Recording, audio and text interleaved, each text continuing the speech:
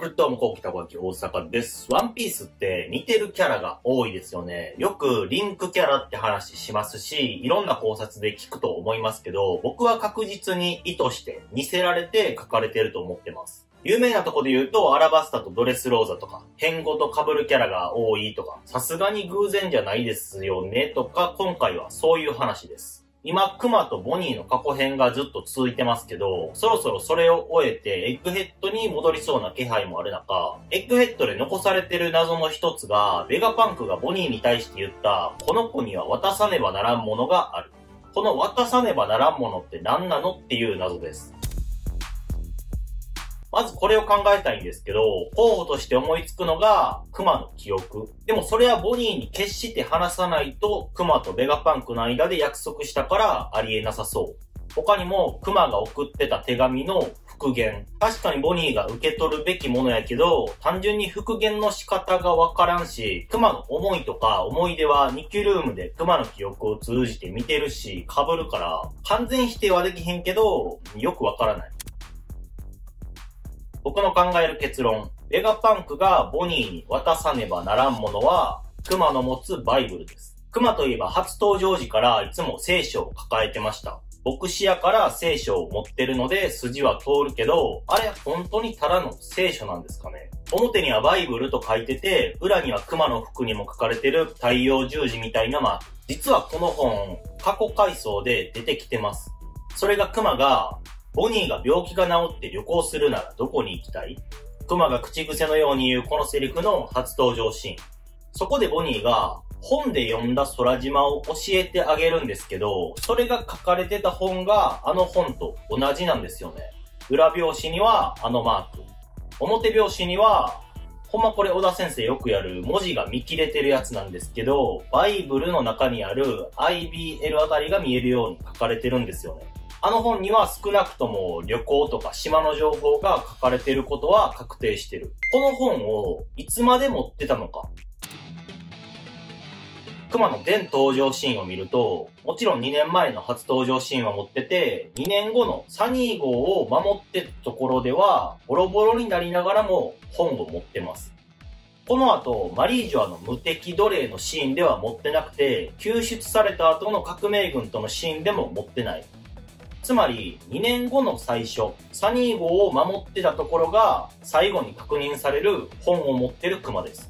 あんなにいつも大事そうに持ってた本が、途中からなくなってるんです。あのシャボンディから無敵奴隷になる間に手放してる。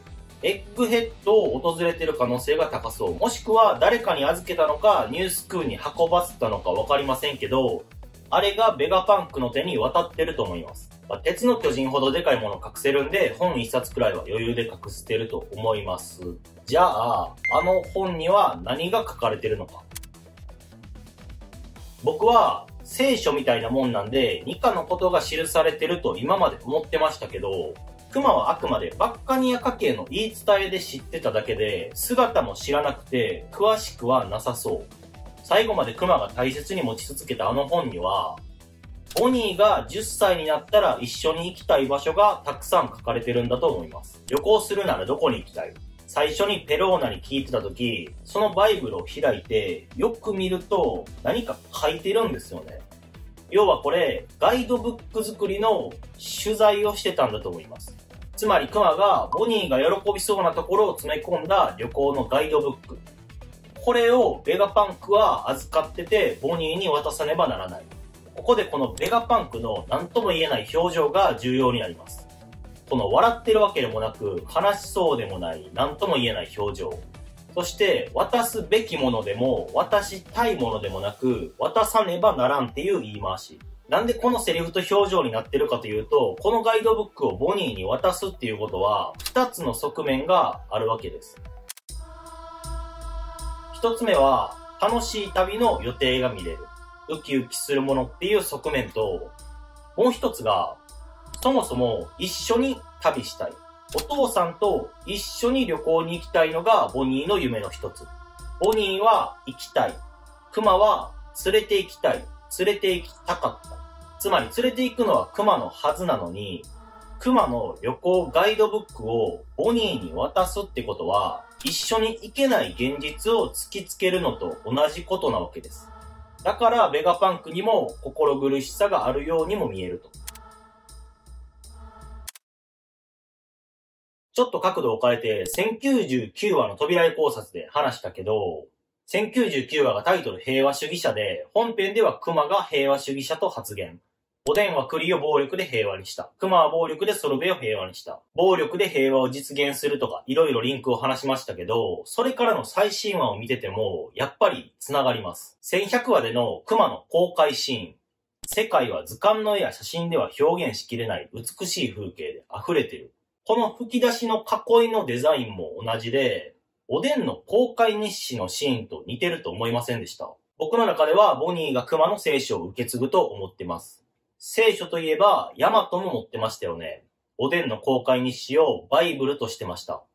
つまり、おでんのバイブルはヤマトへ、熊のバイブルがボニーへ渡ることが示唆されてるんだと思います。ちなみに個人的にめちゃくちゃ面白いと思うんですけど、おでんの公開日誌にはこんなセリフがありました。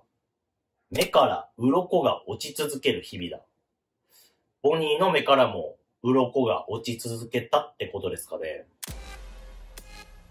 ヤマトは明確にこれ年齢が出てるんですけど、8歳の頃から監禁状態。ボニーも8歳の頃から監視状態。アルファの口からも拘束ってワードも出たし、監禁状態と監視、拘束状態で同じ。ソルベ王国は氷系の島。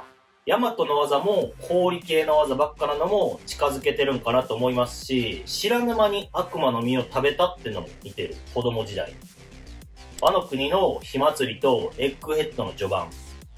食べ物の名前がいっぱい出るシーンも似てますよね、これ。ルフィとチョッパーとボニー。ルフィとチョッパーとヤマト。ルフィとボニーが似てるとか、ルフィとヤマトが似てるとか、似てるキャラは多いけど、よく考えたらそこでボニーとヤマトも似てるんですよね。僕はここ意図的に似せられてると思います。ヤマトの父親はカイドウ。ヤマトは嫌いやし認めてない。ボニーの父親は不明。けど、カイドウからやっぱり見えてくるかもしれんし、カイドウが竜なんで、改めて天竜人が父親って考えていいと思うし、となるとルフィとボニーがニカに関わってるなら、ヤマトも今後何らかの重要なキーになるかもしれません。ベガパンクが渡さねばならんものを考えてると、クマとおでんだけじゃなくて、ボニーとヤマトもリンクさせられてるってのが見えてきた。ボニーがバイブルを手にするはず。それは、クマオリジナルの旅行ガイドブックに仕上がってる。ここはボニーが好きそうだ。ここには怪物がいるからボニーを守る。守らないといけない。この島はピザで有名だから絶対行こう。そんなボニーに対する愛で溢れたメモ書きが大量に書き込まれてると思います。最後にみんなが想像して1個目に出てくる旅行ガイドブックって何ですか？僕はルルブでした。もちろんジャランとかマップルとかいろいろありますけど、実際ギネス記録にもなってるし、一番売れてるのがルルブ。ワンピースともコラボしてましたよね。僕はこのクマが持ってる聖書は、クマが作るルルブになってると思います。これ冗談じゃなくて、聖書イコールルルブ。日本の作品漫画番組商品の発行開始年とか、連載放送発売開始年が和の国の和数に合わせられてるって話を、このチャンネルではたまに話しますよね。1920年の小説なら920話。1954年の映画なら954話に反映されてるっていう形です。これが最低20パターンは確認できるんですけど、今の形のルルブが正式に発行されたのが1984年。984話のタイトルはこれです。はい、最近3日間ぐらい動画出しなくて楽しみにしてもらってた人はすいません。全然サボってる感じではなくて、詰めて考えたいことが山積みでずっと調べてました。今回の動画もそうですけど、そんな中昨日の夜中に、俺の頭にとんでもない雷が落ちたんで、ちょっとこの後22時から雷緊急生配信です。